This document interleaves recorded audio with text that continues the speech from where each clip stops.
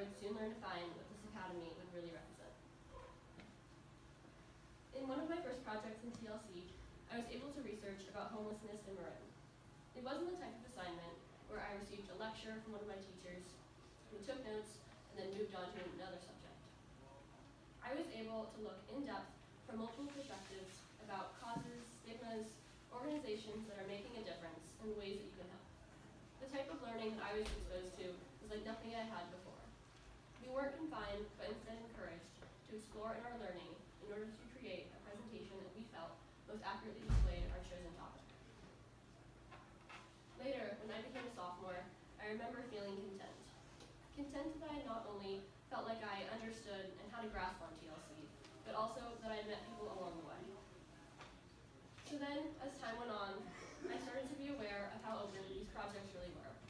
I found out that as a learner, I thrive on being able to work in a space where there's the ability to freely allow myself to go in any direction that interests and sparks a passion in.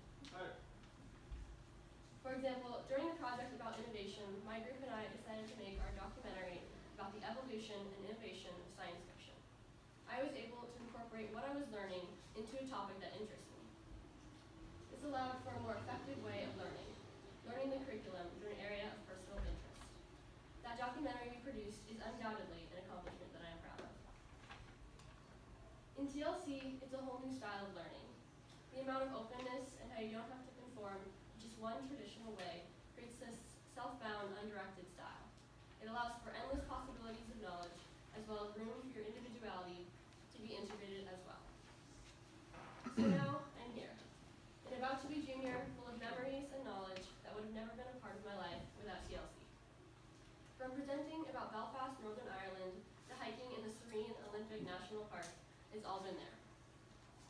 My time in this academy enabled this different version of myself that as a learner I had no idea about. It was a version of myself that felt limitless and unrestricted in my thought process. One that was new and surprising, but most of all, one that had emerged from that first day sitting at a desk in English. Overall, I'm just grateful to be shown a whole new system and way of learning